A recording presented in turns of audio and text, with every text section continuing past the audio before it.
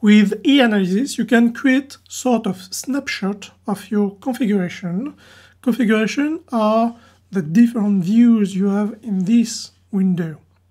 Then I can save this configuration, use configurations toolbar button, select save configuration, enter a title,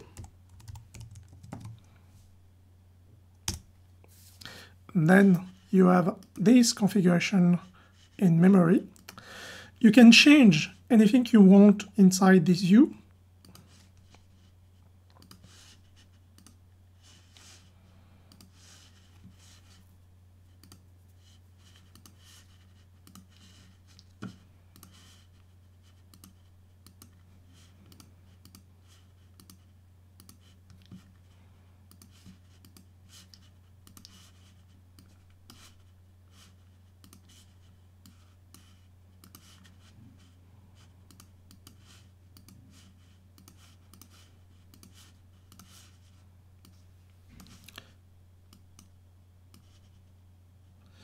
And now you can save this other configuration.